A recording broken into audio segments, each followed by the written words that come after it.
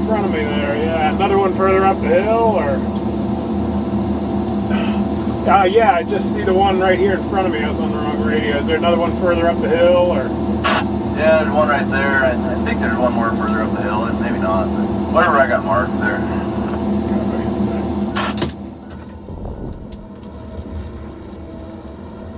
Yeah, well, I'm finishing up what I can get on this unit.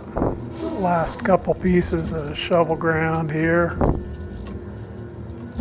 So I'm working my way up alongside the hand falling. Cutting the tree line.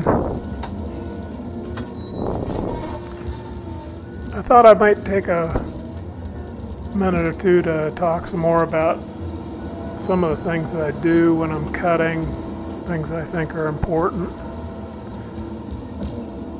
I think one of the main things really is to be organized, to cut in a methodical manner and keep things organized for whoever follows you up.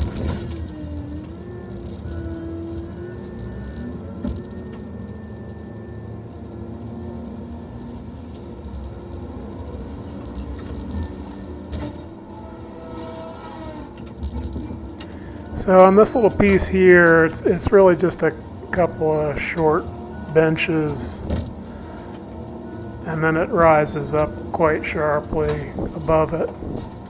So I'm working my way up along the tree line, felling to my right. And this stuff will get shoveled down before they, the yarder moves into this block, so I don't have to worry about fouling them.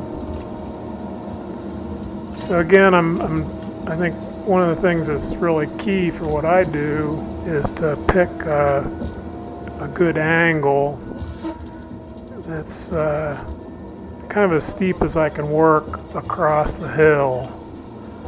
So I'm working straight up the, the tree line now, but I'll make a series of short strips across the hill once I get up as high as I can climb.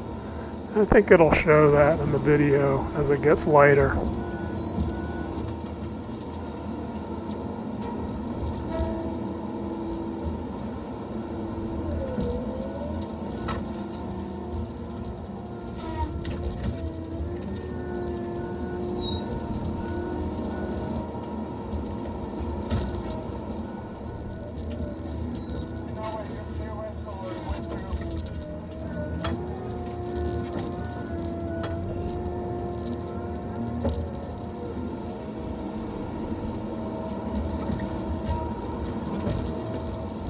So this wood's all pretty small, but there's log in almost everything, so it's really important to get good recovery, both the stuff I cut and uh, stuff that's on the ground, and certainly stuff that's been worked up.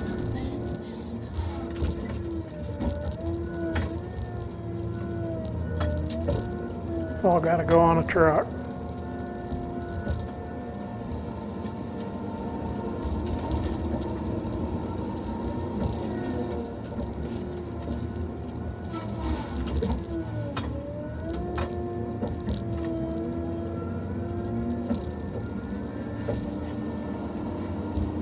Kind of see the orientation of my strips or my bunches and I'm trying to make it so they'll flow easily for the shovel won't get hung up. They'll flow easily down the hill to what little landing we have. Landings are pretty hard to come by we get pretty creative with them.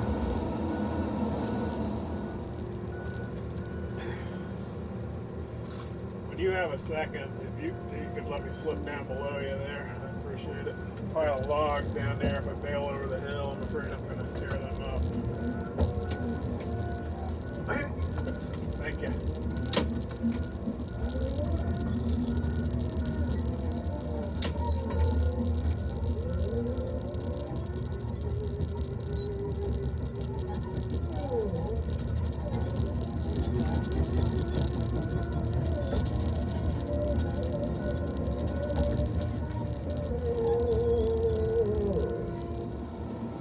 Yeah, it's pretty easy to forget sometimes, you know, that you're on a hundred thousand pound machine and these little bitty trees and little bitty logs, you can tear them up pretty easily. So, you know, something like this little pile of logs right here that's been carefully worked up and sorted is just really important to, you know, take care of them. And of course, uh, trying to get everything out of every tree that we cut, lowest stumps we can, saving them out as best we can too.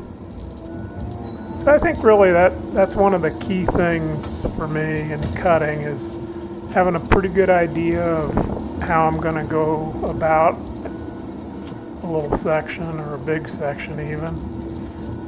Of course that can change fairly quickly, but having a good idea, walking it if there's some questions or it's big enough to warrant it, and then just cutting in an organized fashion, paying attention to details, and uh, just doing a good job for, for, for what I'm doing, and also in particular for whatever comes down the line behind me.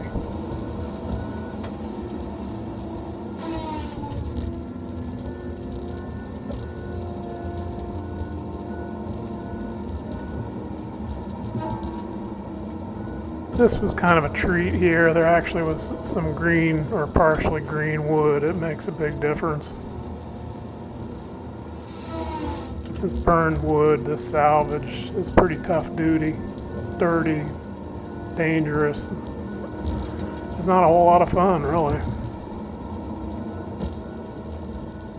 But this had some good wood in it.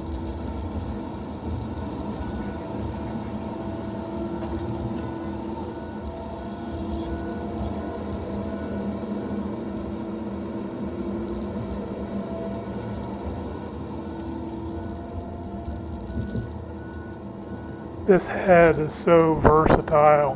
It really is just a pleasure to work with it. It's it's uh, it's got so much capacity, but it's just so versatile. It's really quite a tool.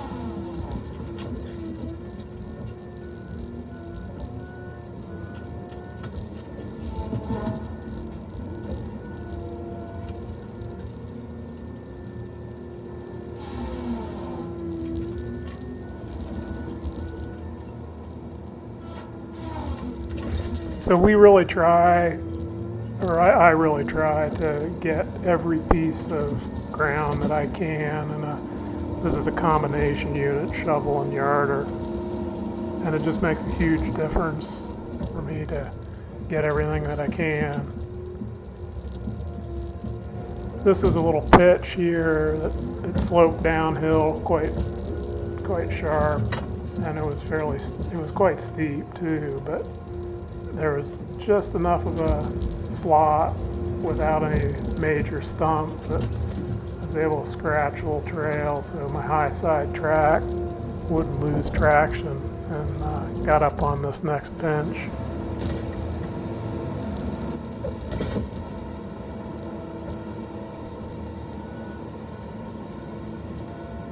So by cutting this out, the hand fallers will be, you know, I got everything to where I couldn't climb.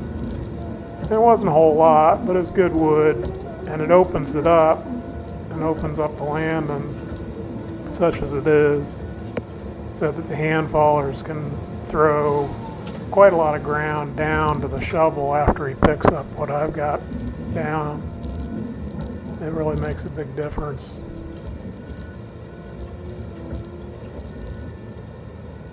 So we were on one o'clock, or I was on one o'clock shutdown. I shut down had it opened up so I could hit it the next morning.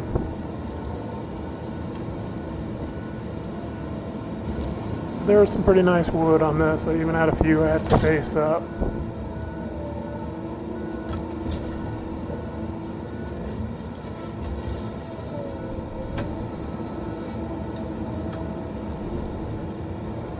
And sometimes it seems like I do quite a lot of stuff other than putting wood on the ground, but as I said, you know, anything I can open up for the shovel makes a huge difference in the overall operation.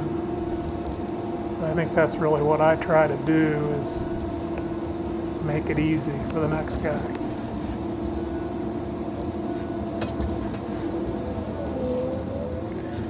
Yeah, so like I said, we're on, I'm on one o'clock shutdown, so I was able to open this little patch up. Got it pretty well cut out. That's another thing that's really nice on a tough piece of ground is to get something opened up so if you're starting in the dark, you're good to go. And as you'll see, I, that's just what I did. I scratched my way back up again in the morning and finished it off. Got it done. So on to the next one. Once again, thanks for watching. Thanks to my wife for putting all these together for you guys. Be safe.